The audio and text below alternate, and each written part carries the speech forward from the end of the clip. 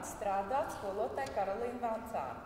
Jo blakus mūsu pils eh, vokālām studijām, folkloras ansamblim, ģitāristiem, pūtēju orķestriem, daudziem citiem muzikāliem kolektīviem, beidzot mums skolēnu pilī ir arī akordeonista ansamblis. Un skolotāja Karolīna ir fantastiska skolotāja. Viņa strādā ar ļoti lielu atbildību un entuziasmu. Paldies, tev, Karolīna, par to. Un tu zini, man jāsaka atklāt, ka es tiešām esmu pārsteigta, ka tavi audzēkļi izrādās spēlē ne tikai tautas dziesmas, izrādās, ka viņi var nospēlēt arī tādu dižgaru kā Mocarta, Vēbera, Hendeļa darbus. Tā, tā tik turpināt, tiešām malači. Un ļoti liels paldies tev arī par to, ka tu uzsāku šo skaisto tradīciju, organizē šos koncertus. Un apsolu, ka tu arī nākamgad turpinās organizēt Rīgas pilsētas akordeonu dienas. Paldies tev liels!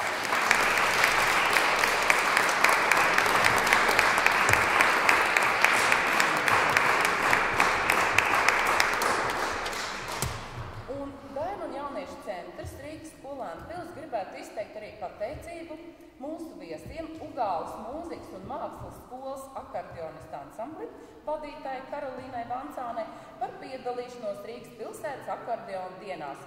Rīgas skolēnu pils direktora pienākumu izpildītājs Valdes Segle.